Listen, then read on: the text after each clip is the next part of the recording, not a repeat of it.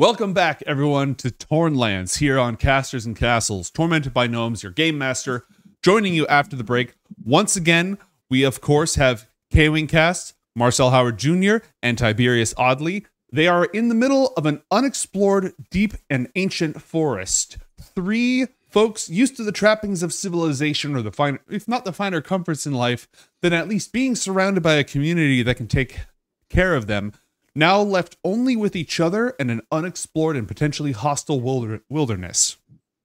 In their first day here in the Tornlands, our heroes have started to expand out and explore from the mysterious stone circle in which they awakened, entering the ancient forest, scaling up a slope, and finding shelter in sort of a overgrowth of plants for the night. They've settled down. There was some sharp words as they deal with their new surroundings and their completely formerly unknown compatriots. But earlier that day, they discovered the corpse of some unidentifiable creature that had been stripped down to the bone by flesh eating beetles, which they attempted to harvest because they can be useful later. And now, unbeknownst to them, something else has found that beast, that corpse, and is on its way towards them. That being said, I am going to go ahead. It does not come upon you in the night. Let's see. Let me check the time. So, you. I have to do a conversion here because I've been keeping track of time, relative time from when you got here instead of objective time. Oh, no, they're the same. Okay, cool. After you've had a good rest, the alarm spell does not go off and you all find yourself rested. Uh, Tiberius, you've got a full rest before the sun even rises. It's kind of the middle of the night. You've all, I mean, you can sleep in if you feel like it for sure. You're muted. That means I get plus one XP. we still have some firelight. Uh, the fire went out by this point. It was again not a not a proficient user. You did a good job of of setting it in the first place, but it wasn't uh like a neatly made thing or anything like that. Okay, then as I wake up, since the sun's not up yet, I'm gonna get a light a torch with my tinderbox and my torch, and just kind of poke my head out the cave. Give me a perception check, please.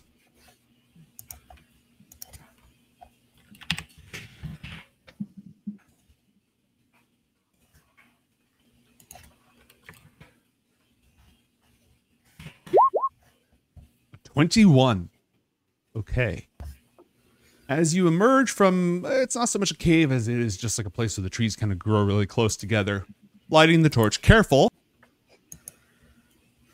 not to set the forest on fire, though it seems pretty verdant. The wood is definitely not dry, which is why you, the fire went out. You only could find so much dry firewood. You look out through the, the flickering torchlight, and just at the edge of the light in the depths of the forest, a massive set of horns looms in the undergrowth. Eyes reflect the light, staring right at you. Um, guys. Oh. I, I very slowly lower the torch, Mm-hmm. not not to the ground, but like to be more in front of me and away from my body, and just so I don't see what's directly in front of me as terrifyingly. Mm-hmm. Um, there there's something out here. Oh, it wasn't a dream. I done Oh, told you that. Did you need me to pinch you too? No, no. It's fine. Don't worry, the oh, alarm Shh, shh, shh, there's something out here. Is it moving at all? As you turn again at it, it makes a noise. And charges towards you. Uh, oh no. roll a d6 for me real quick. and then, okay, a five. Oh. Oh. Okay. Oh, that's- Immediately behind it, this. another one also charges out at you. Oh no. Oh no. and I'm I doing would this like all. everybody to please roll for initiative.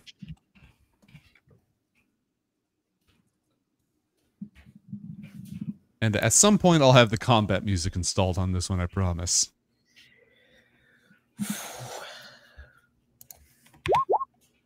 Okay, a 13. What else we got? Seven. Oh, uh, twenty-one. Yeah, all right. And the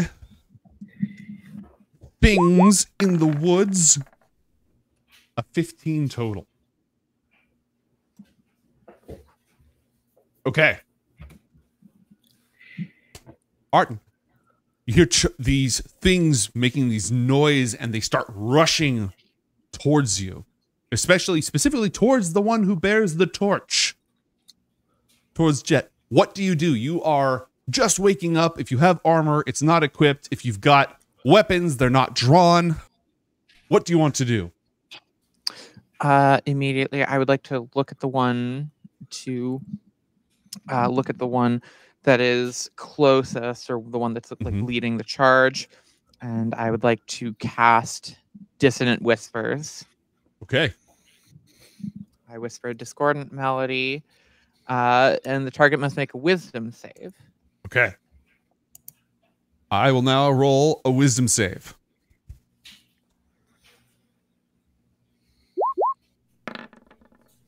that's a nine i'm guessing that's a failure right My saving throw DC is 13. Okay, excellent. Roll 3d6 for psychic damage. All right. Um.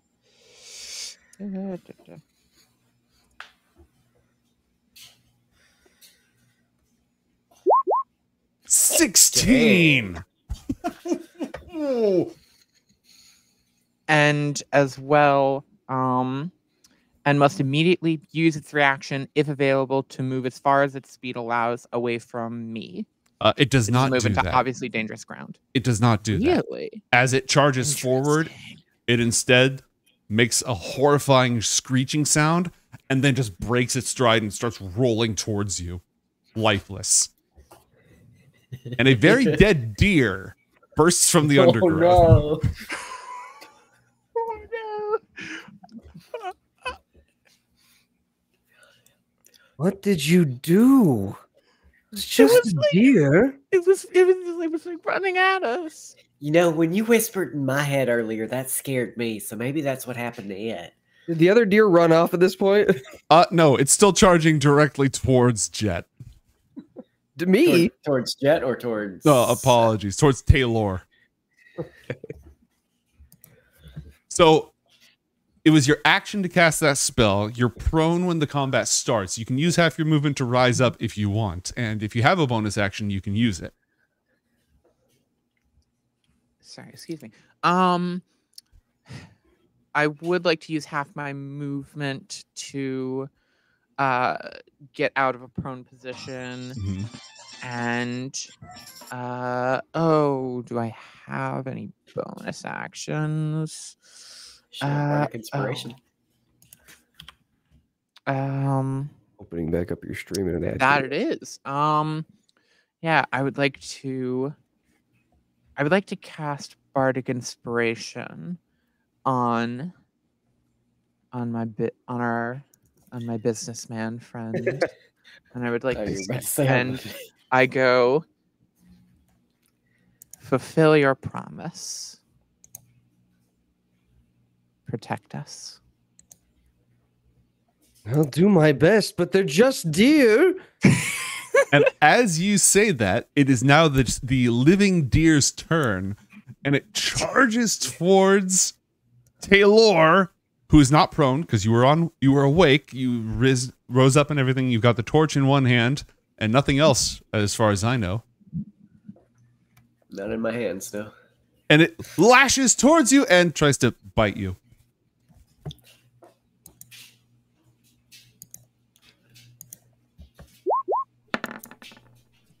A 10 you say 10 a 10, yes. Uh, My my AC is sixteen. all right. It's attempting to nibble at your, just to, like bite your arm, but at best, all it's doing is snapping at the air around you. And uh, Poor that's thing. all it does. It's your turn. It's Taylor's turn. I would like to grab my short sewing needle with the base lard, uh, basilard. Mhm. How's that actually pronounced? We'll, we'll get an audible on that down the line. and I'm going to attempt to mercifully slit this thing's throat. Okay. Roll to mercy kill.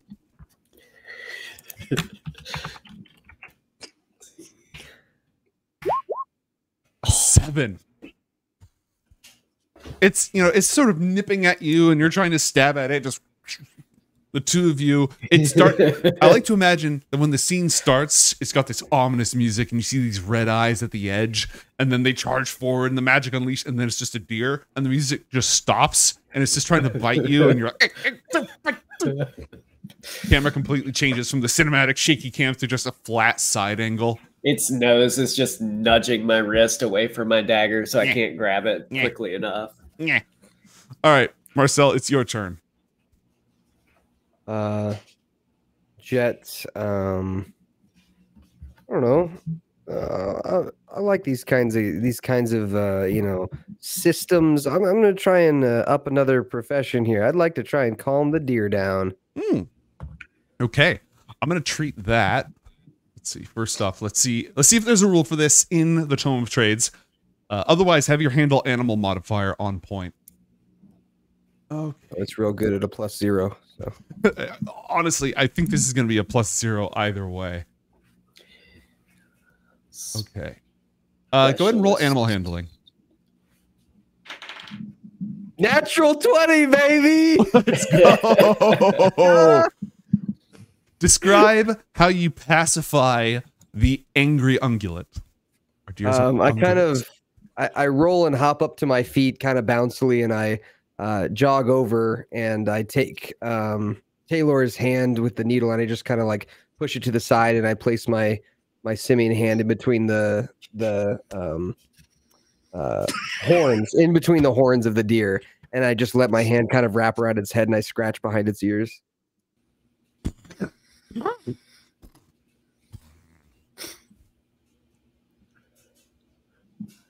Relax, relax. It's okay. You know normal deer noises. Mm-hmm. Mm-hmm. Um, I will. uh Let's see. I'll just stand there and, and kind of like scratch under the chin and and and pet it a little bit until it gets bored and, and decides to leave or whatever. Well, it decides to stick around, cool. un- like- unless you do something different, it is after it sort of like chills out, sort of had this "what was I doing" moment. It's gonna peace out. It's it's gonna spring back into the undergrowth, glancing at its dead, I would say compatriot, for a moment, and then sprinting away. Unless any of you do something different.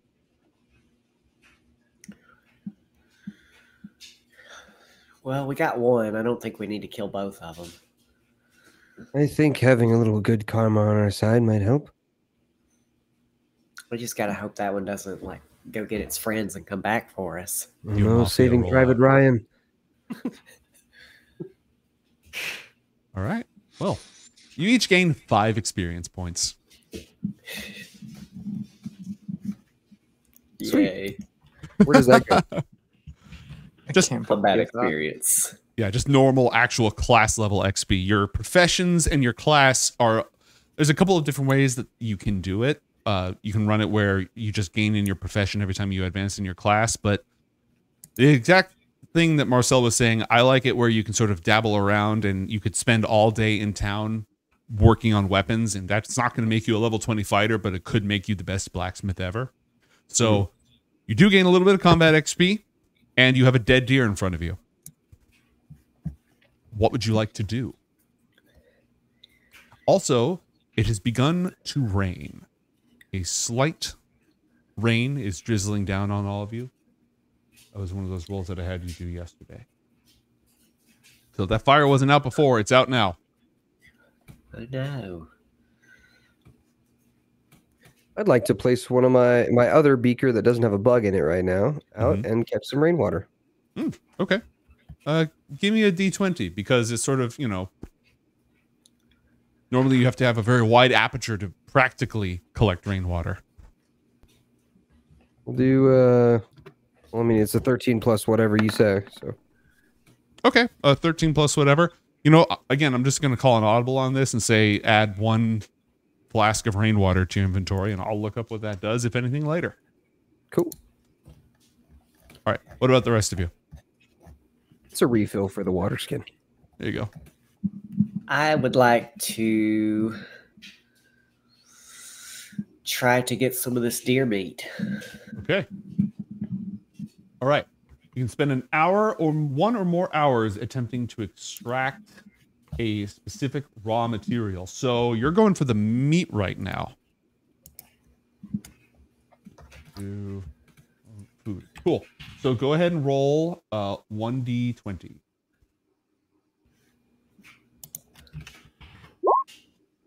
Natural Yes. 20. Okay. Let me Did see we all roll a 20 right. today?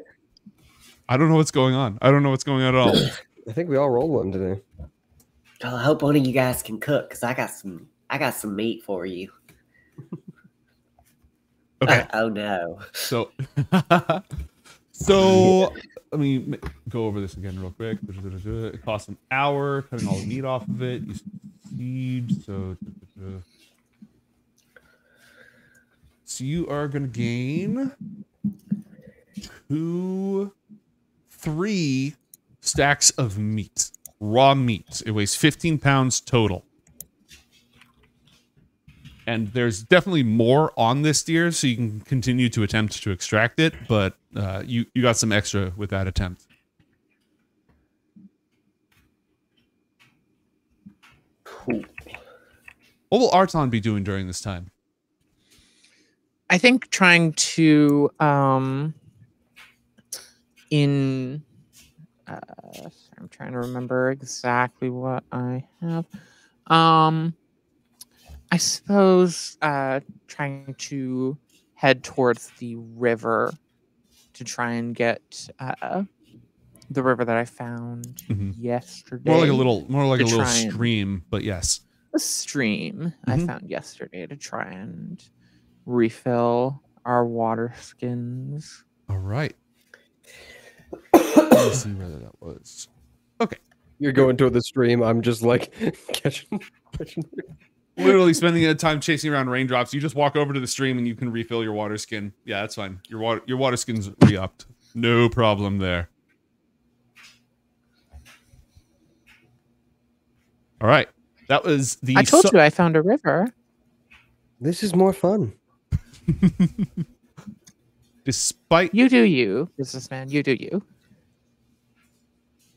despite the rain coming down, it becomes obvious that the sun slowly rises. The uh, the gray becomes a lighter shade as the sun starts to come up over the horizon somewhere off in the distance. What will you do?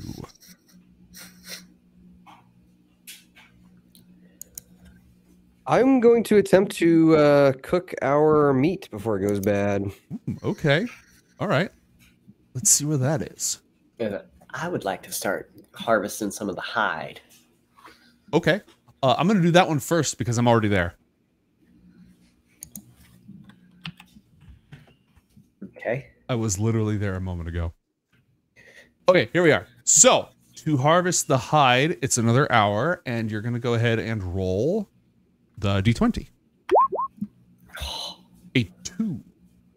Yeah, the the you aren't skilled at this at all. You just kind of tore it apart. Like you were trying to to carefully harvest it, but you don't have the right tools. You don't know where to cut it. Parts of stuck fucking it with together. a needle. It's like it's just It's just like sewing, right? So it should be fine. Um, you can try again, but every attempt makes it harder. And of course, that's going to be another hour. All right, Yeah. we are going to cooking, which I think is quartermaster. Let me see if I'm right on that. Or might be provisioner. And I do have my Tinker's tools, which uh, you know they they are basically a multi tool that can be used for different things. So Mhm. if I can try and describe how I'm using it, I'm. I'll hear you might out. you might as the DM allow me to use my proficiency bonus. Yeah, I'll totally Chef is part out. of attendant. Thank you. Where is that? Uh, bottom row, fourth one over from the left. on Oh, I nailed screen. it. Thank you. All right, cool. Do-do-do-do-do-do. Prepare food, meat. All right, go ahead and roll a d20 to prepare that meat. Would I be able to add anything like a proficiency bonus with the Tinker's tools, or no? Not at this time, but I'll take note of that for later to see if it's accurate. It's just an hour of work. Oh, I, be a- it, it might be an automatic success, but it's an hour of work. Go ahead. Total of twelve on their A dice. 12. Okay, yeah. You've prepared all three of those uh, rations of meat. And that Nice. was that, is was a supposed to be automatic. Cool. Cool. And if you eat them within one day, you'll have advantage on strength checks, and uh, you won't suffer exhaustion for one hour afterwards because it's high in protein. Wow. Nice. Nice. Well, I think Jet would uh, hungrily devour his his deer steak Okay. for lunch. All right. I Tasty. assume it's getting, getting close to either breakfast or lunch. It's breakfast. Your venison for breakfast. Oh, yeah. yeah. Food Rocking is food is ready for you all. Oh wow, you did such a good job on this. It's not particularly seasoned, but it's high in protein. You know, it kind of needs some salt. Mm, beggars can't be choosers, Taylor. Do you know where to find salt? oh yes, uh, if you just walk for six hours straight north, you'll find it. Trust me. North. I put my hand on Taylor's shoulder. I'm kidding. It's a bad joke. Oh. I, I thought the bard was the comedian. Hmm. Would you say you're a comedian, Otto? I like to think of myself as a storyteller, but comedy can be just as good as ve- good a vessel for that as a serious one. Indeed. And uh, what did you? You said you were a seamstress, Taylor. Well, yeah. That's what's my mom and my grandmom and her mom and her grandmom and so on and so forth. I see. And what kind of seaming did you do?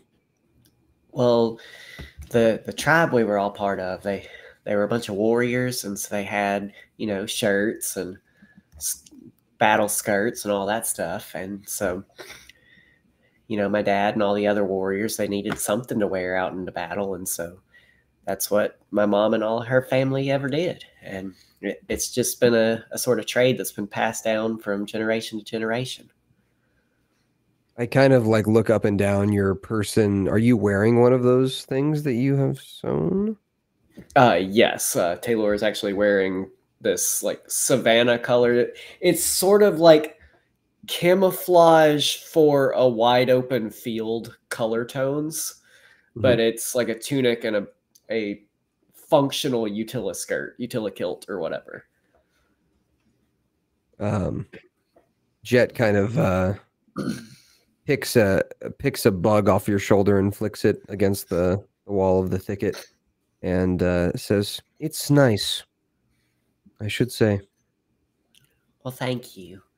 You know, you if think- if we ever find any like fabric or anything, I can try to make you something or make uh L- L- Lena was it Arton. Arton. Sorry, Arton. sorry.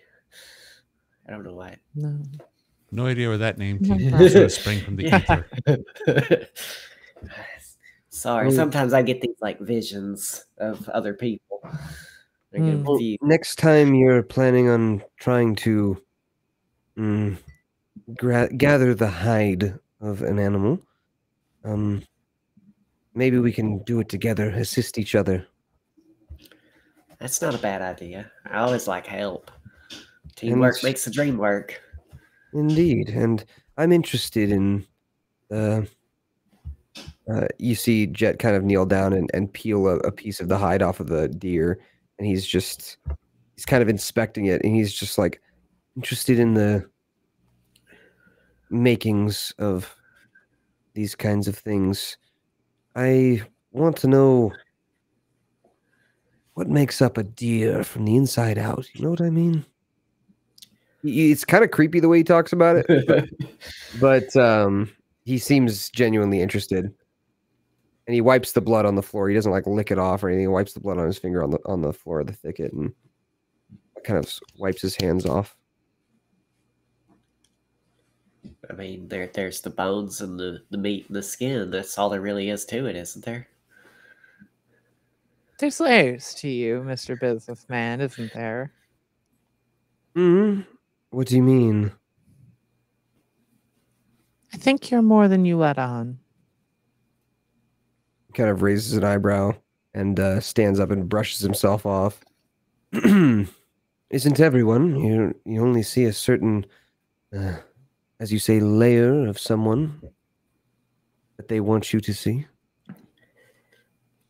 Perhaps, but some people, you sense they have more layers than others, more hidden, more deep within them. Are you saying I'm one of those people. from you? Is that what you're No, not hiding, just multifaceted, like that tinker's tool you have. A Kind little bit of of everything. Flip it around like a butter, uh, not a butter knife, a butterfly knife. A little bit of everything, don't you? I am person who is interested in many things. That is true. Curious, you might call me. As you are with the arts, I'm sure. Hmm. I'd lose my head if I were ever curious. Why do you say that? Because, you know, curiosity killed the cat. And I point to the, the lion head. So you do understand idioms and metaphors. Well, yeah, people call me an idiom all the time. I believe that's idiot. Why you gotta be? Why you gotta say it like that? I, for one, don't find you to be an idiot. Maybe a bit dull. Also, I don't ah. like the word idiot. It's got all kinds of ugh. I think that's the closest we've ever gotten to a compliment from you, Mr. Businessman. Don't expect more. I won't. Otherwise, I'll hope that the curiosity gets you. And he kind of looks you up and down. Cat. Cute. He kind of smirks and goes back to stoking the fire. He's actually setting up his uh his he, in his alchemist supplies. He's got one of those metal frames that you can set a beaker on. So he sets that above the fire and s- just The starts fire uh, has gone out. from from need set a new one, Oh, okay. unless you have some Um, other heat source. Do you think I could fashion still have the my one more one more time? I did have that torch that I lit at the start of the, the deer fight. I don't remember how long they burned for though. Well, this is one of of those games where we're going to look up how long a torch burns. That's the Um, style. So Let's take a look. If set you if you were proffering a different solution, I'll hear it. But I'm also going to look up how long a torch burns. burns Yeah, for one so- hour, so it would have gone out by by the time I got done. Yep. Mark that off. Mark that off. But you could use a torch, I think, depending on what you're trying to accomplish. if I were to procure of an- another fire and set my metal tray up above it with Mm-hmm. a beaker on top, would I be able to theoretically keep the fire going longer because it now has a cover? Uh, possibly, possibly. I would say I'm gonna allow. I have no idea what the rules say, but I'm gonna allow it. Uh, but you would need to spend some time collecting. It's raining right now, which is going to make it more difficult to start that fire, but less likely to burn the forest down, which is nice. So, Mhm. But it's going to take you an hour to get the wood together and and all that such. You want to give that a shot? Probably it probably is not worth it at this time. We don't really need a fire right now. Mhm. So um I'm going to attempt to uh so we're sleeping in a thicket right now, right? Like a kind of a thickety grove. Mhm. Um I'm gonna try and reinforce that over the next hour and try and make it so that the rain doesn't quite um seep in as much. Okay, that's got to be another profession here. The Outlander. Emer- uh, emergency shelter, build emergency shelter. Yeah, so go ahead and roll. Roll 1d20. Eleven. 11. It is good. It- yeah, you've you've made it so it's going to at least cut down. It's not going to be 100% waterproof, but it's definitely going to block some of that there. It's a decent shelter. Okay. What about the other two? What do you want to spend this time doing? I can still try to harvest more of that leather, right? Yeah, you can. The DC goes up every time that you attempt it, successful or otherwise, but you can give it a shot. Uh, I'm gonna try to get some more of this leather. Uh, use my my dagger instead of the the big needle this time. Do you think you might be able to help Artur? I Give them a certainly could. Arton. I certainly will. Arton. All right. Uh, Uh, I'm going to say for the time being, you each make a roll, and we're going to take the better of the two as tradition dictates. I always think it's more fun than just having one person get advantage. All right, Lana, 15. a 15. Okay, the DC did go up, but that is that is a success. So I loosened it for you. You you very much did.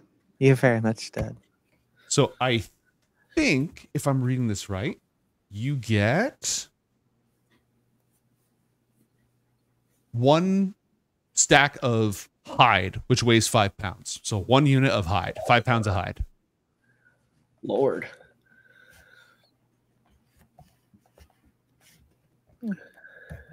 And you can continue to harvest it and collect more until there's just it's gone or it's destroyed. Again, every time it's going to take another hour.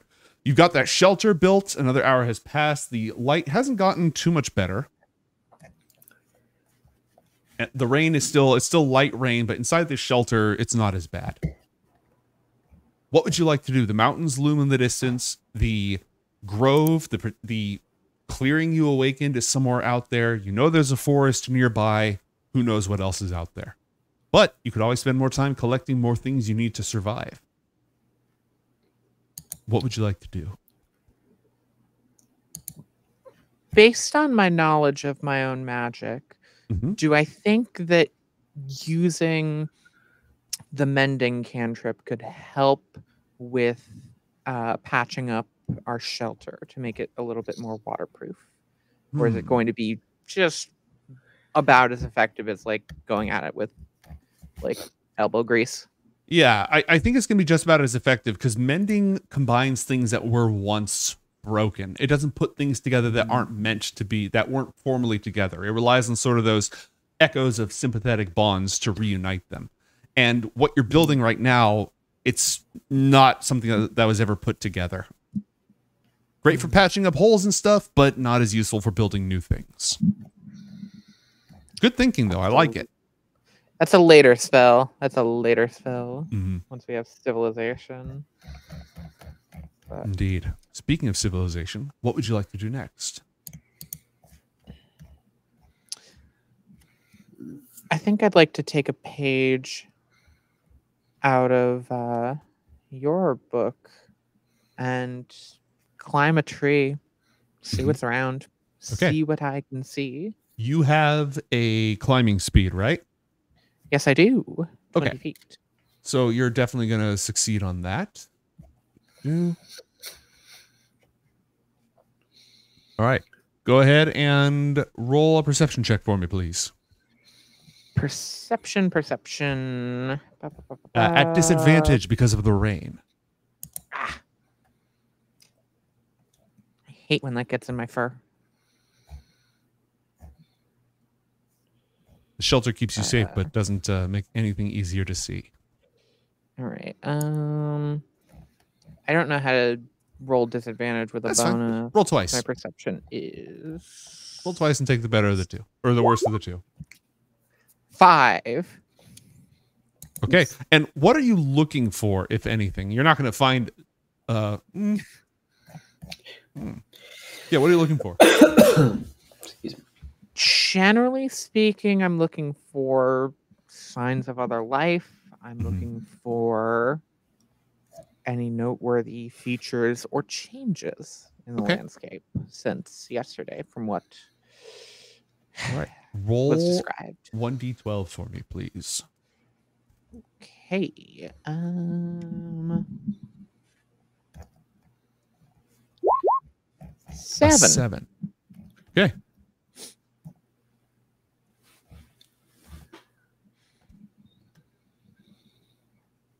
With the rain, it, it's you can't even really see those mountains that were rumored to exist to the west that uh, Jet saw earlier. You're not able to make out much right now.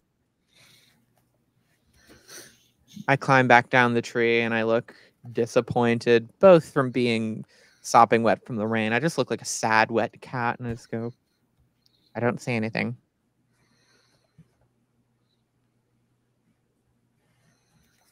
It's, well, raining. I imagine that probably impede your vision. Yeah. Listen, I think our best bet right now is to just try and make this space livable for the moment until we can either find other people or find a better place to sleep. Thoughts?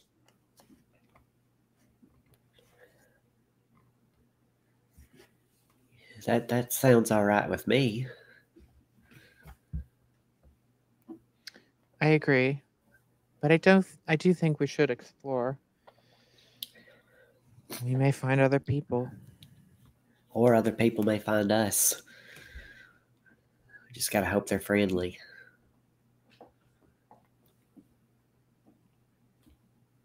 I'm game for exploring if that's what you all want to do. I think someone should probably stay back here. If you'd like, I can be that person. I mean, is there anything we gotta protect right here other than the the Drip. little house you made? Drip, drip. I mean, our food and um, things we've collected so far. Remembering where we're located. I'm quite good at carrying my life on my shoulders. Not very attached to any one place. I got my backpack. You can- you can As do I. tell- you can tell Jet is very much a homebody. You can actually see him continuously wringing out his blazer and putting it back on.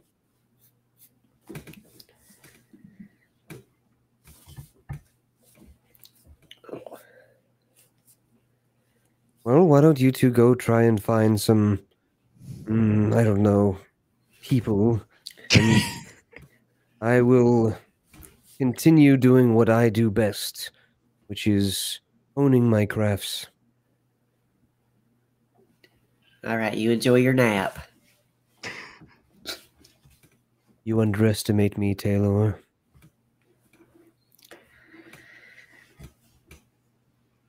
All right. Stay safe, Mr. Businessman. Stay safe. You as well. If you come back to my corpse ripped apart, please don't eat me.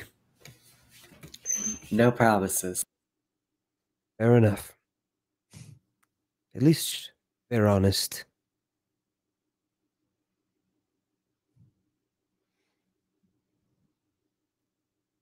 And so, do two of our heroes set off?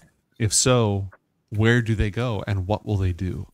I think we should follow the little stream toward the other water that we were told about previously. Okay, I do too. One. Gonna lead you down the slopes into a more thick and ancient forest. As we're going through, I'd like to um, carry on what uh, what he was doing with uh, carving an arrow into the trees as we Okay. pass. Trail to marking? get a little bit of a spool of thread back home Mm-hmm. to not get lost, just to give us an idea. Okay. I've got thread if we need that. wouldn't wouldn't be much of a, a seamstress without it. Another idiom. I think that's the navigator profession to draw overland routes. And that's going to give you a plus one on discovery checks by other people. But no, you're not drawing it right now. You know what? I'll look at this up later, but I think this is going to be a navigator thing. All right. So you're going to make your way through. Going downhill is definitely easier as you and roll a survival and if not survival, just a flat profession check to find your way, to find the path. One specific one of us or both? Uh, either. Both. We'll take the better of the two. Okay, 19. Yeah, you're able to find your way. You're able to navigate. Proceeding, when you follow that way, you're going to be heading towards the. Well, you can. Do you want to go northwest or southwest? Hmm, you know what? The, the stream goes northwest. We'll call that northwest. Okay. As you make your way down the slopes into the ancient forest, what's your passive perception scores? Ten or twelve actually. Fantastic. Uh, thir- uh, 12. 12. All right. As you're making your way into the forest, you hear the light tapping of branches, perhaps a little bit more than would behoove a forest so still, so deep, and amidst only the rain.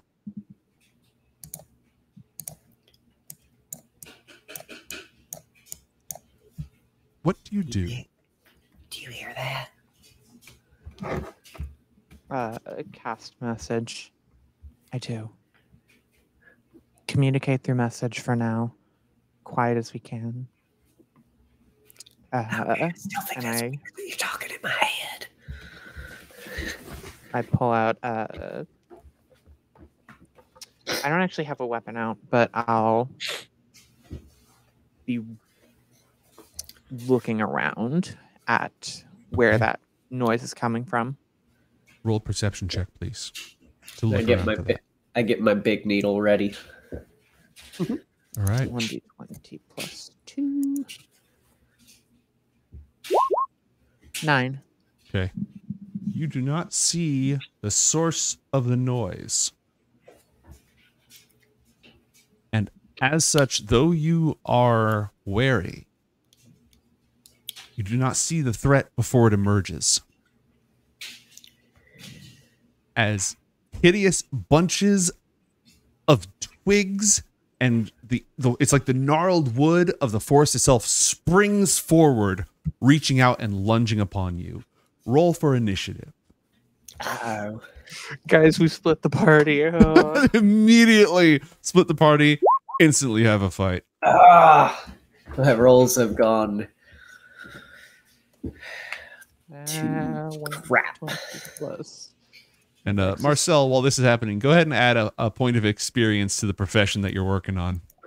All right. The camera just cuts back and forth. I'll, I'll, I'll go to you occasionally. We can just see what you're in the middle of doing as they're getting torn apart by angry wood spirits. It hasn't even been that long, so you just hear, "Oh, God," and just go like, mm, mixing potions. It's Uh, like, so yes, yes. 14. Okay.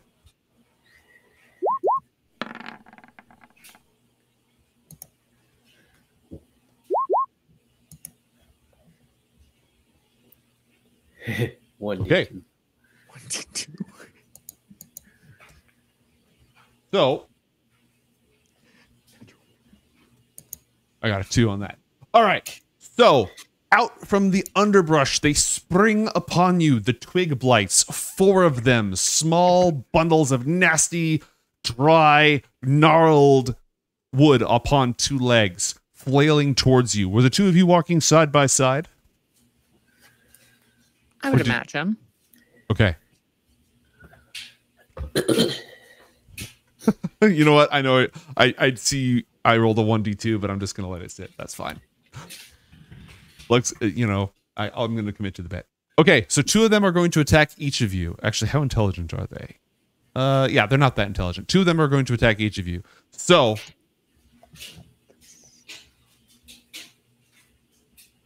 Arton, what's your armor class? Uh oh, with uh, with leather. Uh, it's eleven plus my dex mod. Uh, uh, so I believe that would be fourteen. 14. All right. Well, the first one scratches you with its claws, and you take two points of slashing damage. Piercing damage, actually. The other one is just scrambling at your feet and misses. Taylor. The twig blights are upon you, attempting to drag you down and feast upon your sweet, sweet blood. Uh, unfortunately, they are both very incompetent, and neither of them succeed in any any degree whatsoever. Just "Ah." All right, and after that brief interruption, it is Arton's turn. They have immediately rushed from the underbrush, indistinguishable in all ways from gnarly little shrubs, and are upon thee in melee. You had said you had not drawn a weapon just yet, right? That I did. Okay. What will you do? You did take a long rest, so you do have your uh, brain melting spell back. Oh, I have a few spell slots. Um, You can kill a deer at will. power word kill deer. My favorite spell. Um, uh, combat, combat. Power word Bambi. Power word childhood trauma. So true, bestie. Power word Bambi. Power word Twitter. Hated. Oh boy. Um. Hmm. Yeah, I guess I'll I'll ha- I'll use my action to cast dissonant whispers again. Um, Mhm. whispering a discordant, uh, that same discordant melody. Uh, Um, okay. and on one of the creatures. Let's see uh, what kind of will save a shrub. who's attacking me. The shrub rolled an eight. Roll 3d6 psychic damage.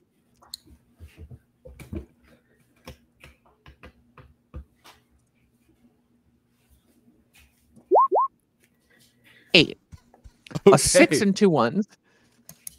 So what happens as it hears you, and it has it has this like little face made of wooden stuff, like, and it's almost as if a bubble is passing through a hose. You know, just it passes through its head, and then the top just splits open like a blossoming flower, except with a hic, his, a sickening crack, and splinters go in all direction as its mind cannot comprehend the horror, and it instantaneously dies.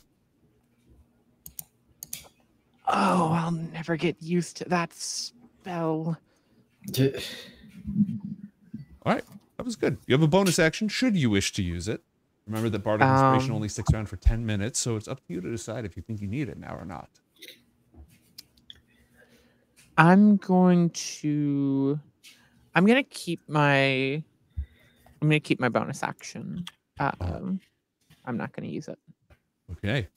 Well, because I flipped a coin instead of rolling a d20, it is now Taylor's turn. You, you said you'd drawn a weapon. You drawn one of your knitting needles, right? When you're yes, my Okay. my big needle, which is the cutlass, excellent. and I saw the one scratch Arton, and I'm pretty nervous as it is being out Mhm. in the wilderness, and now these trees have just completely thrown off my day. So I would like to rage. Oh, okay. But rage as a bonus action. What? How does uh how does Taylor's rage manifest? What does it look like for those nearby? Well, at at present, she she hasn't had or they haven't really had a lot of experience with their uh, anger management. So right now, it's just like a big vein bulging on their forehead, just like when your mother scolds you when you're a child, Mm, and they lunge at the other twig blight that was on top of Arton. okay. And the two of you were adjacent, and in the absence of a battle mat, I'm gonna say no attacks of opportunity. You're all close enough. And I imagine that if you knew them, if you if you have the the mother vein in the forehead, if you knew their middle names, you'd be shouting them out. that is just Give me an attack. A 15. That is definitely a hit. They've got slightly tough bark and such, but no, that's not enough to stop them. Roll me that damage. Find the the weapon stats on this D4 piercing. Okay. And a plus two for being angry. Yeah. That's enough to to crack this thing open with a single very angry knitting needle strike. Or tailoring needle? Would it be knitting? Would it be sewing? Sewing. A sewing needle. Stabbed. All right. Two the two that were attacking Arton are destroyed, leaving the two that were ineffectually squabbling at your legs. And You I used an action and a bonus action. Anything else? I- interject myself between these little twigs and Arton. Okay.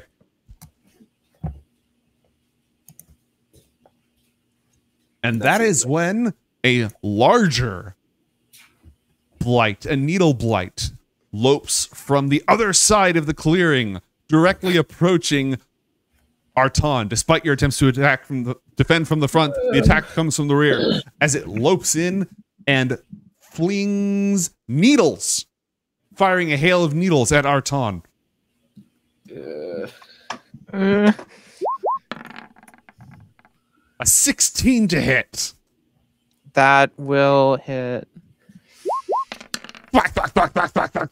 For nine points of damage. oof, we're only level one. Arton falls unconscious. Oh, stars. Thud. The camera cuts back over to a moment in that dramatic as we see Arton falling to the ground with blood streaming from the wounds. And now we come back to the shelter. What do we find Jet in the middle of? Oh no. Uh, Jet is um, analyzing with his goggles. Uh, he's taking his bifocals and flipping down the, the magnifying pieces, and he's slightly moving the twigs on the um, reinforcements that he made. And he's going to try and update either his Outlander or whatever profession that is. Okay, so you're not working on alchemy, you're working on your wilderness survival skill. We'll go ahead and take a note of that. And I expect after a few more of these, we'll have all of these solid and down. All right. So needles, th- you know, it's it's one of those cuts where like you see the needles impaling, and then it cuts to a mirrored shot of just the little twigs in the exact same position. Hmm. Hmm. Mm, this will never do. The blights of the forest, seemingly victorious, continue their relentless onslaught. Both of them now clawing at the only remaining survivor. Does a 14 hit you? No, it does not. All right. Uh, Obviously, an 8 doesn't either. Now, Arton, if you're still with us, roll a death saving throw. Death save. Okay. That's just one d20. Black No D20. 10 or higher is good. mods. Correct. And as far as I know, there isn't a 18. near death experience profession you can level up in. But that's a success, so we're good there. That's a good suggestion though. we'll, we'll put we'll put that in the patch notes. Playing possum. All right, I don't think I'm playing. which brings us back over to Taylor. There are three. There's a needle blight standing at the edge of the of the well, it's a very very thick forest, standing over at the edge and attacking from a distance. And there's two twig blights directly upon you. What do you do? I pull out my smaller needle. So I've got my big needle and my small needle. I use my big needle on one of the twigs and my small needle on the other. I got two swords. That should be enough for all of you. Give me those attack rolls. I like how the first encounter was some deer, and the second encounter is just going to kill everybody instantly. If the only survivor of today is Jet, I will not stop laughing. And regrettably, neither an 11 nor 12 is going to be enough to hit, oh no. which takes us to the needle blight. Uh, now you have movement and a bon- no, you used your bonus action to do the second wait. stab. The second one, I should have actually been using my dexterity, so that should have been a 14 to hit. Mm, a 14 would hit, but you don't add your uh, damage, your ability modifier to the damage, right? Correct. But you do add your rage modifier. I I actually will not because I'm using my dexterity to attack with this and rage. Correct, thank you. Roll big number. Oh, that is not big number. That is small number. that that is that is unfortunate. You had a 25% chance to one shot this thing, and uh, that was not it. That's Okay. all right. Still raging. Is there anything else you want to do? Anything else you want to just narrative? You want to throw on it? I basically just straddle the the uh, unconscious body of my compatriot at this point and just take up a stance to protect them at all costs. Okay. Well, the needle blight lopes around, kind of when you see, uh, you know, Sasquatch or Bigfoot and really suspicious footage doing that loping thing, except bending a lot more and moves a little bit, shifts around, and then appears from around a tree to fling more needles. Oh no. Um, a natural one. Here's what I'm gonna. Here's what I'm gonna do with that. I'm gonna have you roll an opposed athletics check with one of the blights, and uh, you can have advantage on this because you're in Oh, a yeah, rage. because I'm raging. Oh, whoops. Uh, yeah, dir- dirty 20. A dirty 20. Okay. Because as it's attacking in your raid, you just reach out and kick one of the smaller ones directly into the path of the attack. The one that I barely poked with my needle, I just Mhm. jabbed the needle in further and lifted up off the ground. It lifts up off the ground, blocking the attack, and now it's full of needles. It's got your sewing needle, it's got the needle blight's needles, it's dead. It's usually how I do critical fumbles. It's not instantaneously something bad happens to you. It's there's a second layer to it, a second challenge of some kind. Roll a dex save to not drop your sword, sort of thing. All right. It's not even your turn, and you've cut them down to two targets: a needle blight and a vine blight. No, a twig blight and a needle blight. Sorry, I got my Nice. plant life wrong. Okay, that which brings us back up to the sole survivor. The question is do they have a sense of self preservation or do they just ruthlessly attack? Let's take a look here.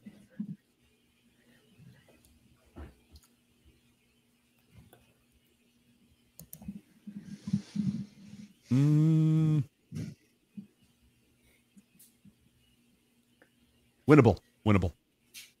they It's winnable. They haven't even touched me yet. Yeah, but you know they still outnumber you, and the battle can turn on a dime. And plus, this is the minion; it has to obey, and Yeah. it's going to obey by attempting to scratch your eyes out. A thirteen does not hit, correct? Nope. Okay. Once again, with feeling, Arton, give me that death save.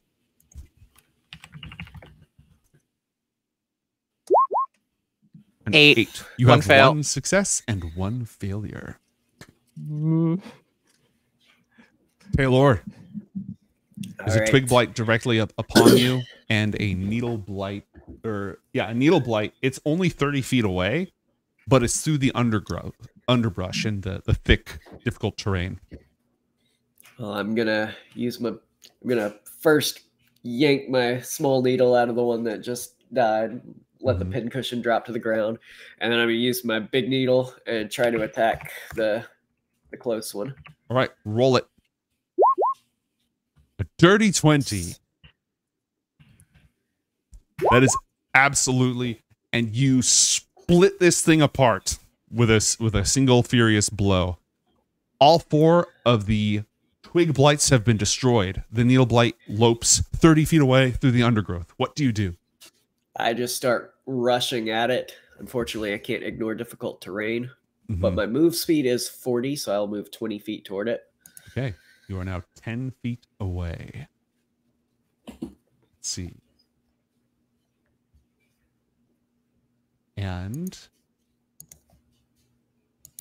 the needle blight does ignore difficult terrain.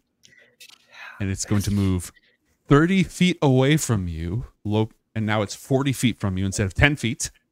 Uh, but I am going to give you cover on this attack because it has it doesn't have get to pick the angle of attack anymore. It has to just run away. So it's going to move that far and it's going to shoot more needles at you. A 16, does that hit?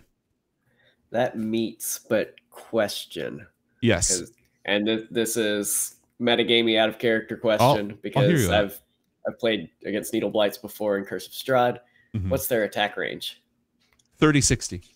So they would have had So disadvantage that- on that. But if a 16 meets with cover, it misses anyways because that's plus two. Oh, yes, forgot about that part. Haha. So yeah, that's 40 feet away. It's your turn. You can reach it if you move and dash, if I'm correct. yes. Okay. And if you don't make an attack with your main weapon attack, can you make an attack with your offhand attack? No, not with not if I'm just using two weapon fighting for that. Okay. So now you're in a position where it has, if it moves, it provokes an attack of opportunity. Yes, so I'm gonna dash up close to it, but that will end my rage. I think if I don't attack, Mhm. or do I? Does it also stay if I get attacked? It attacked you and it missed. Let's see. If you end your turns and haven't attacked or taken damage. Okay. So, your rage does come to an end. All right. Yeah, I'm just gonna run at it and end my turn right next to it and yell at it as my rage ends, and the the, the vein in my forehead kind of calms down. I'm like, all right, Hmm. I'm gonna take you down, Mister Tree. So if I use my action to withdraw, I get 30 feet away. You can move to close the distance. I can use my action to move away. You move to close the distance. So theoretically, it could turn this into an endurance test. That is exactly what it's going to do. It's just going to start continuing to flee from you. Well, then I'm gonna use my reaction to attack it. Well, it uses its action to disengage and then it moves 30 feet away. Oh, okay. Ad infinitum. These things know how to disengage. You can choose to pursue. Oh, you know what? I, I missed something. A death saving throw, please. 18. Two successes. One So you can choose to pursue to see if you can outrun it, wear it down, distance, you know, endurance hunting. Uh, but you will leave your companion behind to an unknown fate and possibly in danger. But if you stop Then- pursuing, it might just start taking pot shots at you again. Then after the first time it moves away, it would be like 70 feet away from where my companion fell. hmm Uh, then I would hide behind a tree and like break line of sight hmm and hold my action to just make sure the tree stays between me and wherever it moves. Okay. It's 70 feet away, and it only has blind sight out to 60 feet, which means it loses track of you. Which means instead of doing the thing I was going to do, where I was literally just going to kite you forever because the monsters want to win, it is in fact going to sneak off into the forest, moving, and it can dash, so it can move 60 feet through the difficult terrain. It is going to peel out of the fight.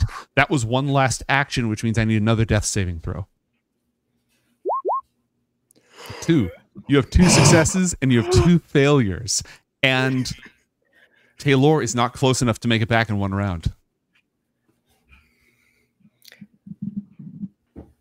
I am oh. going to say a prayer. to do I, you, hmm. is your character religious? uh not really religious, not practicing religious, just a you know, the, the gods are there, and sometimes they do us some favors. Okay. It's kind of like the Titus Pullo in HBO's Rome kind of thing. Talks directly to the gods specifically when they want something. Mm-hmm. Roll one d one hundred. My character. Yes, please. Oh Lord. yes, that's who we're trying to reach. Nope. Sorry. The number of you reached is currently busy on another call- line. Please check and dial again. Uh, this is something I, I didn't put in the lore summary that I need to. If you say the name of a deity once a day, there's a chance they hear you. What they do about them is up to them. Pestering them is not advised. Okay. Let's see it. Here we go. I've moved my camera down so you all can see it. Come Here we on. go. 13. I see two numbers there. Okay. That's another thing I need to emphasize about Tornlands. You can die. There is no plot armor.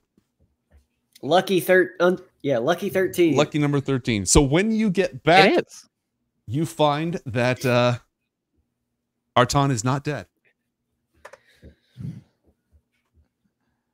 But, and here's the tricky thing. You're gonna have to carry Arton through dense forest, unless you have some sort of healing, through dense forest uphill.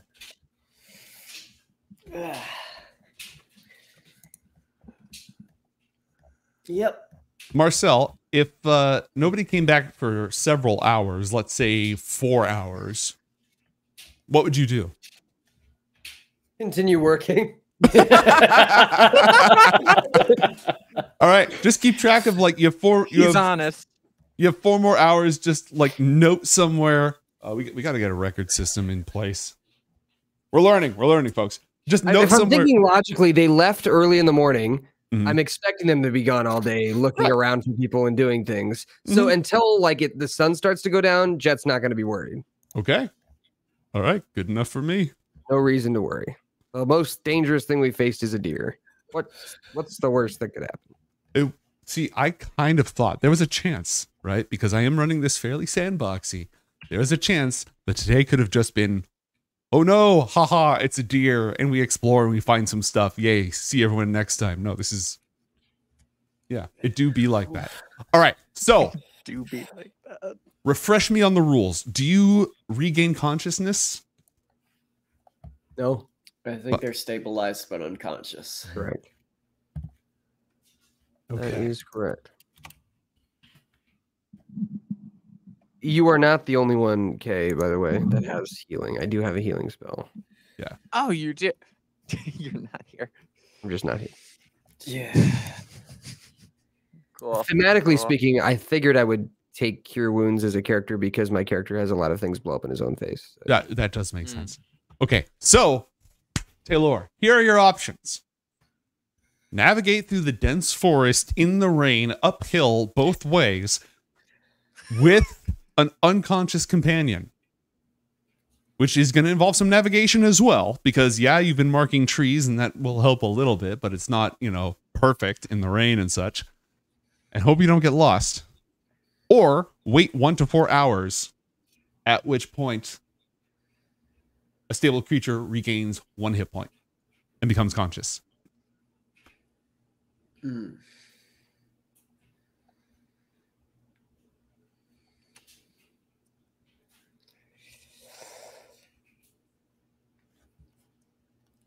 Ah, this is a tough call.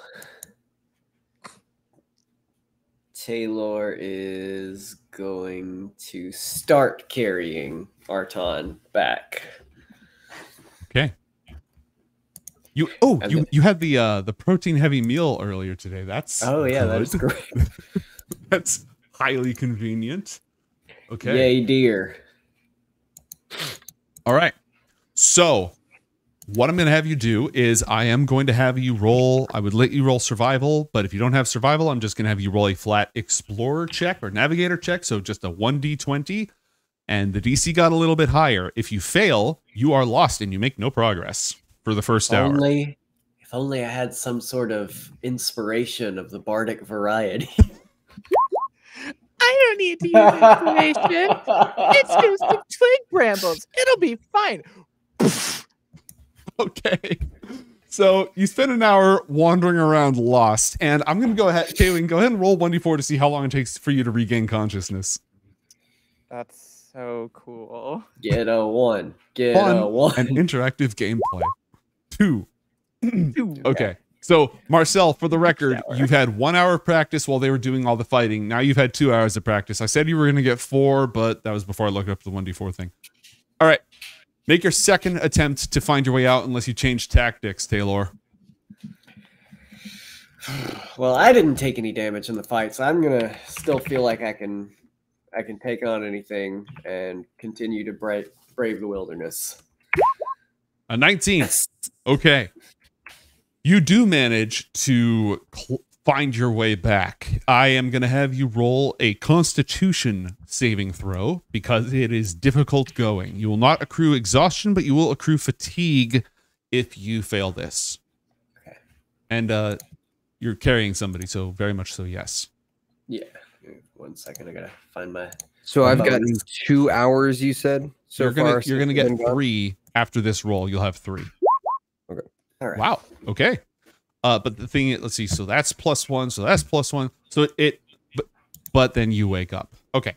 So after another hour of making your way up back that direction, Arton, you regain consciousness.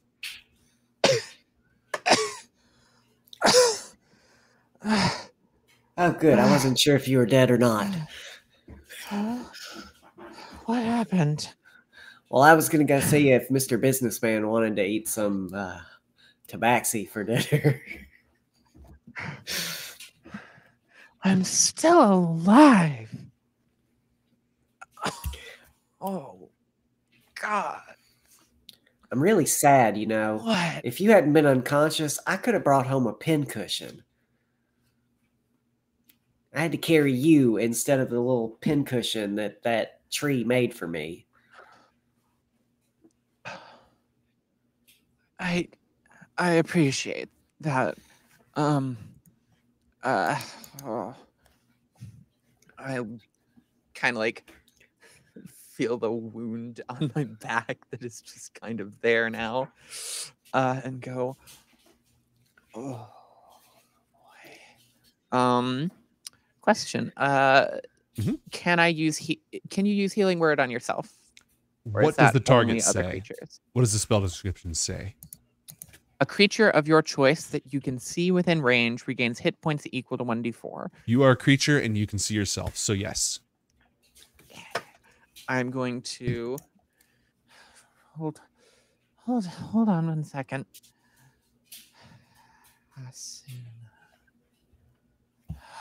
Cast healing word on myself. You Um, accidentally which cast power word kill deer and there's a terrified bugle somewhere nearby in the forest. No, you're good. Go ahead and roll it. Um, one d four plus three.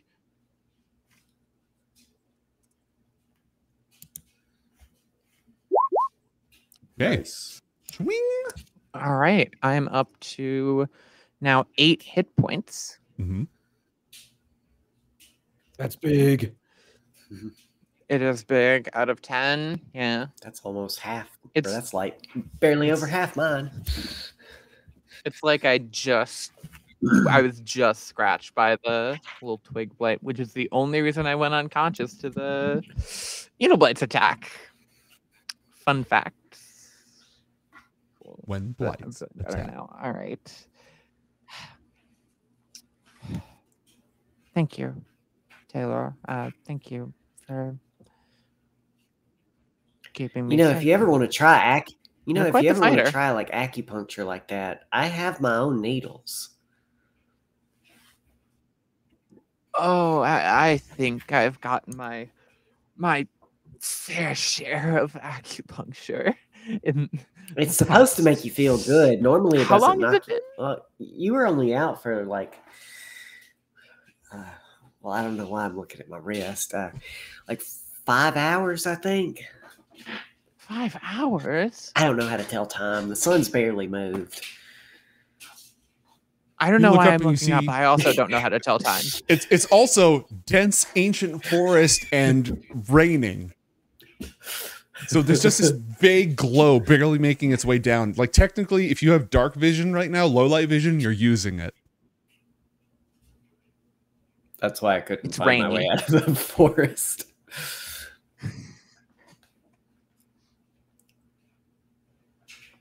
Man, five hours. Um, Yeah, we should probably get back. Uh, yeah. He might be getting worried. You know, he does seem like the type to, you know, care about his companions. I'm sure, like, he's just ready and raring to come find us.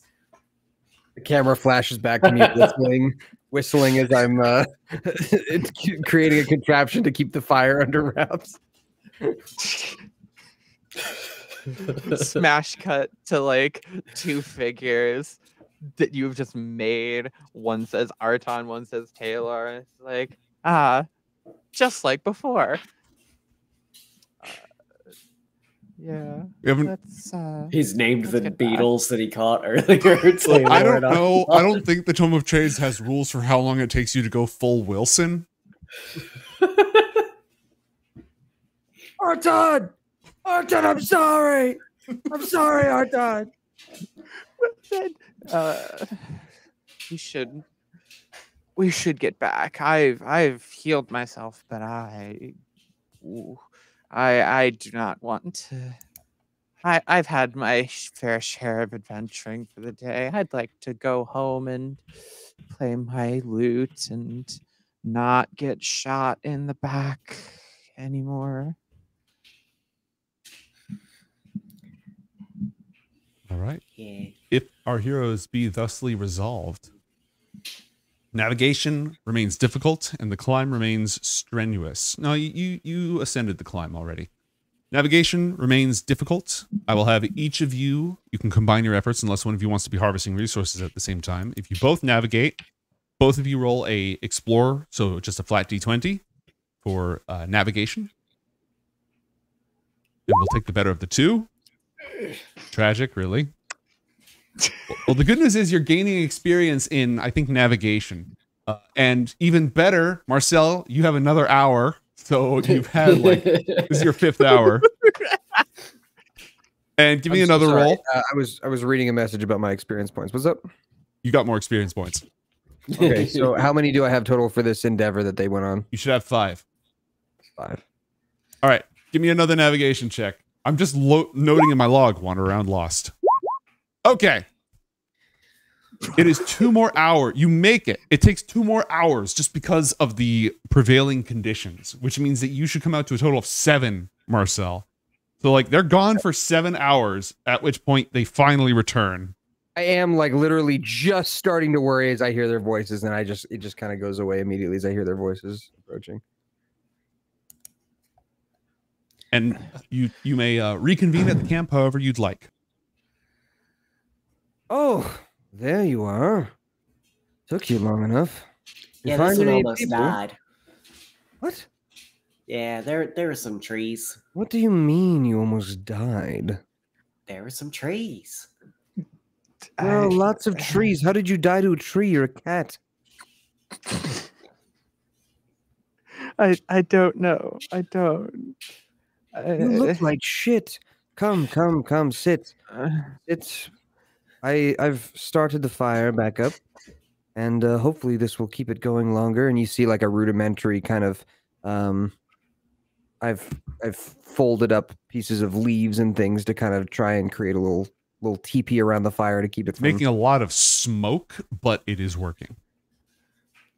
uh, yeah, you did a great job. It's going to last for Right. so long now. We might even be able to put our feet next to it as we sleep. That is, if we want the fire to be on while we sleep. Uh, yeah, I'm sure that's not dangerous in a forest. Hey, you know what they say about the sunrise? No, what do they say? He just goes back to work and it doesn't answer. Okay, barring anything else, that is the perfect place to cut this. Did anybody have anything else? No. Okay, I am going to award. Uh, I'm going to award Taylor and Arton 50 experience points each because you took the fight. Yep. Hell yeah. It's totally fair. Yep, and you you get your survival XP that you farmed up. Yep. My And character is obviously uh, not as much of a combat oriented character anyway, so Mhm. it makes sense. And I didn't expect that, so I am sorry that I wasn't there. But you know, it is what it is. It- it- as long as You're you good. weren't unhappy with your choices and you weren't bored, I'm fine with it. nah, And the I rest of the enjoyed party isn't salty about almost dying. That's you know that I can't control that. Yep. I didn't almost die.